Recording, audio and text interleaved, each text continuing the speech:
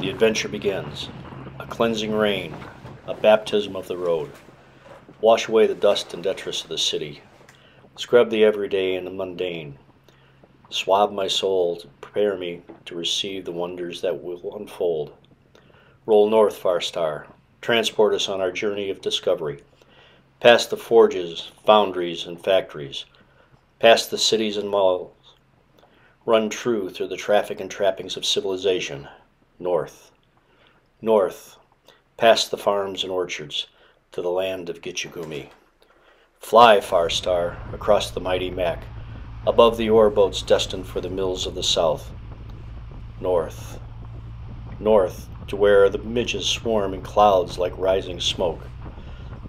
North to where the big lake has pounded the bedrock to sand and piled it high. Awaken my senses. See the wind on the lake, the doe and her fawns, the dapples of sunlight in the forest, the shadows of clouds dancing across the meadow. Hear the wind whispering through the pines, the loons courting at dusk, the wolf in the night. Smell the heady musk of the moss in the woods, the salty breath of the ocean, the pungent smoke wafting from a campfire. Feel the chill of a mountain glacier, the icy embrace of a Yukon lake, the warmth of the midnight sun on my face. Taste the tang of new cuisine, the bitter hops of craft beer, the sweetness of Arctic berries. Roll north, North Star, north to Alaska. The second day dawned wearing a cool gray coat of fog. But today is the day to meet up with John in Duluth, so after a warm breakfast at Shirley's Diner in Ishpeming, we push on into the mist. Ten miles outside of town, rounding a curve, I spot him on the side of the road, cloaked in the brown of a wizard of the wood, a moose. He lifts his head at the sound of Far Star's boxer heart and stares at me. Welcome, Far Star, to the north. Wonders will unfold.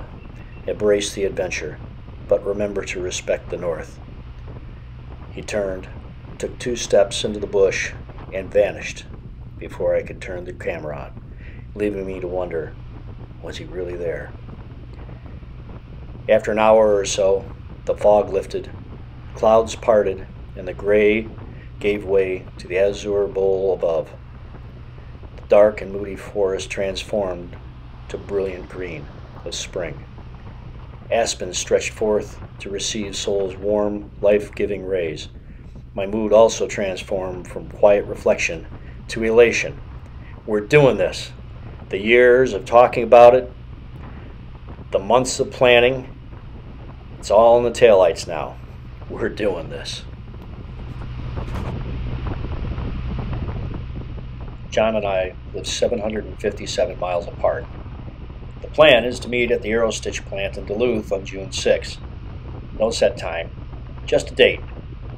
We turned onto the street in front of Aerostitch from opposite ends at exactly the same time.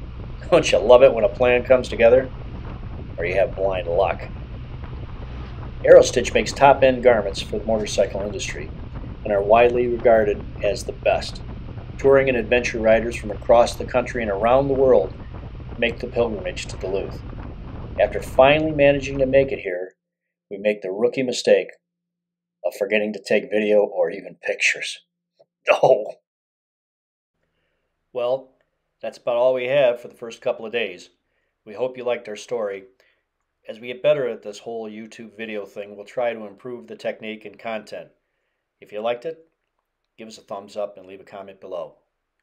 Remember, follow your star.